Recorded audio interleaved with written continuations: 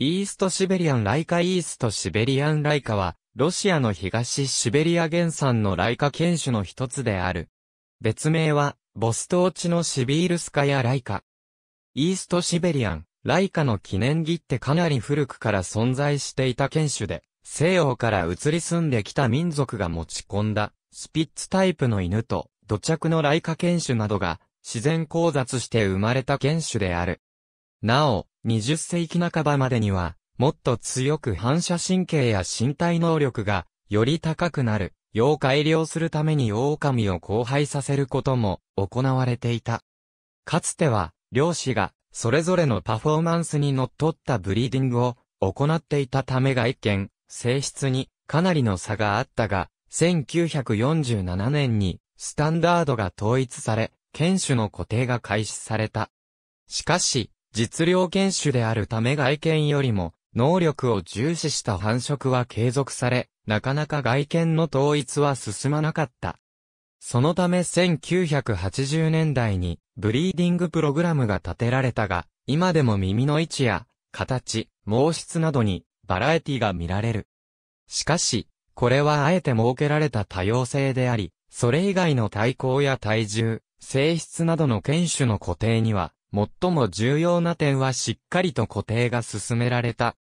この多様性の認可により犬質は高いが犬種として認められなくなってしまう犬はいなくなり、実用犬としての高い能力を保ったまま、スタンダードを統一することに成功した。これにより、国際的な地区犬団体である、不思に犬種として公認されるに至った。主に猟犬、犬ぞり、番犬として使われる。猟犬としては、トナカイ、クマ、エルクなどの大型獣から天などの小型獣まで狩ることができる。単独もしくは小規模なパックで獲物の匂いを追跡し、発見すると吠えて主人に知らせ、自ら狩りに行く。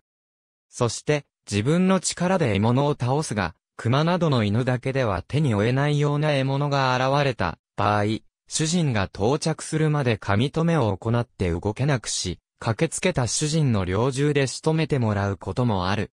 反引犬としては主人を狩場や自宅まで運ぶために用いられ、交通網が発達する以前は貴重な交通手段となっていた。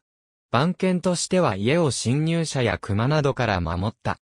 ライカ犬種は非常に数が多いが、本種はその中でも数少ない不思議公認犬種の一つである。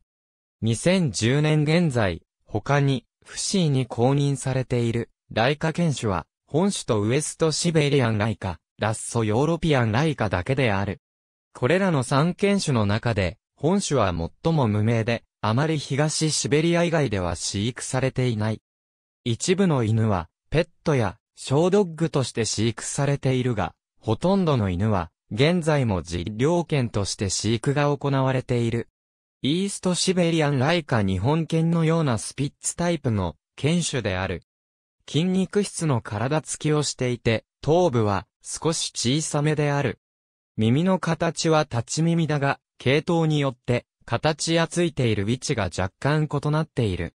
形は日本犬のような立ち耳である場合とシベリアンハスキーのような V 字に立った耳のものがあり、位置は正面を向いていたり、横を向いていたりする。尾は、巻き尾が望ましいが、垂れているものもいる。どちらも尾には、ふさふさした飾り毛がついている。コートは二重構造になっていて、保温性、防寒性に優れている。しかし、それゆえに、暑さには、非常に弱い。コートの長さは、ショートコートだが、滑らかなものと粗めのものがある。毛色に特に制限はない。体高56から64センチメートル、体重18から 23kg の大型犬で、性格は忠実で物静か、おとなしく主人家族に従順だが、警戒心が強い。家族に対しては、友好的だが、それ以外の人には、あまり慣れ慣れしくしない。不審者とみなした場合は、激しく吠え立てる。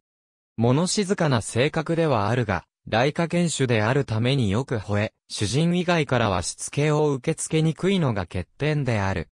なお、よく吠えるのは、主人や家族に自分の気持ちを伝えるためで、人間の会話と同じような役割がある。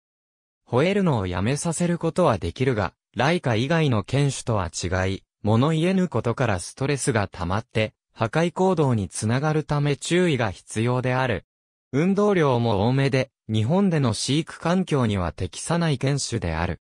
このため、飼育の際には、ライカ犬種に関する知識を集め、吠え声によるトラブルが発生しないような場所での飼育が必要不可欠となる。かかりやすい病気は、関節疾患や地肌が湿気で蒸れて起こる皮膚炎などがある。ありがとうございます。